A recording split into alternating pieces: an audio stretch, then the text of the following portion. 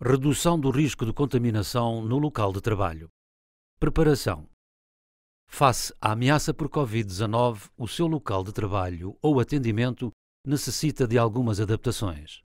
Assim, recolha todos os artigos não essenciais para a execução do serviço, por forma a reduzir ao máximo os objetos expostos a uma possível contaminação. Os objetos pessoais devem ficar guardados numa caixa ou compartimento pessoal. Aos restantes equipamentos que ficarem expostos, afaste-os o mais possível do utilizador. Aos de uso obrigatório, proteja-os com película que facilite a sua posterior limpeza, teclado, impressora ou telefone.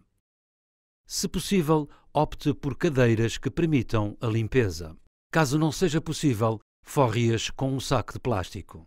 O caixote do lixo deve ter um saco de plástico que facilite a sua remoção e limpeza. Com estes cuidados, reduzimos o risco de contaminação e facilitamos a higienização. Serviço. Diariamente deve iniciar e terminar o serviço procedendo à lavagem das mãos.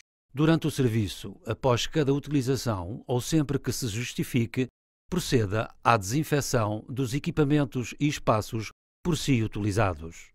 Monitor, teclado, mesa, rato, PC, telefone, janelas, armários, interruptores e puxadores das portas. Vestiários. Minimiza a exposição de roupas e artigos pessoais, nomeadamente as toalhas de rosto ou banho e o fardamento, colocando-os dentro do armário pessoal e fechado. Caso não seja possível, use um saco de plástico como capa protetora. Diariamente, desinfete as superfícies utilizadas. E não esqueça, lave sempre as mãos.